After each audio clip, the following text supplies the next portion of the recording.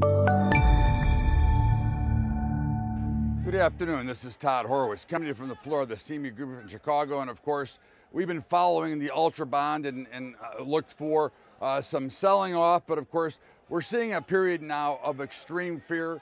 And, and the problem with this extreme fear is it's continuing to push the Ultra Bond much higher. I, I think when you look at the bigger picture, it's basically going up in a parabolic range.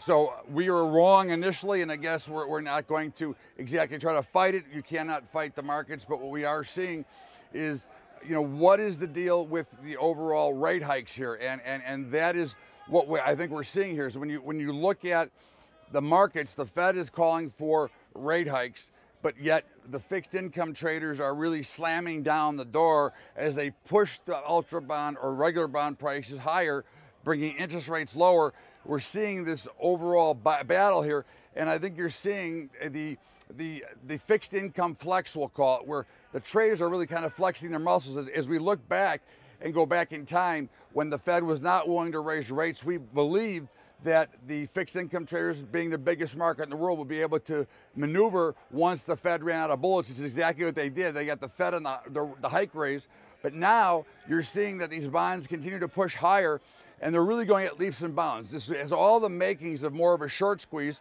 which is what we thought when we looked for the rally. I think here you have to wait and watch for this rally to slow down. You have to wait for the shorter term market and looking at a chart, the shorter term to go sideways or start to come in before actually getting short here. I don't think you'd want to be a buyer of bonds. I think it's very evident that rates are going to rise. I think it's very evident that this overall move is based on fear.